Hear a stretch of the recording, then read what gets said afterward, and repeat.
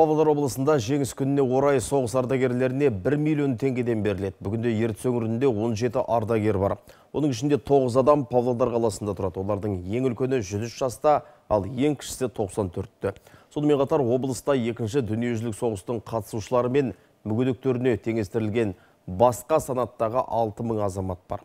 Оларға жалпы соммасы 554 бүтін оннан 8 миллион теңгеден астам бір жолға материалдық көмек көрсетіледі бір реттік төлемақыларға ие болады. Бұл төлемақылардың көлемі 30 мыңнан 150 мың теңгеге 150 мың теңгені құрайды. Жалпы бұл жәрдемақыларды бүгінгі күнде ауған соғысына және де таджик ауғанстан шекаралас соғысына және ирак нагор таулы қарабақ соғысына қатысқан азаматтар сонымен қатар чернобыль атом электростанцияны құтқарушылар да осы төлемдерге жатады.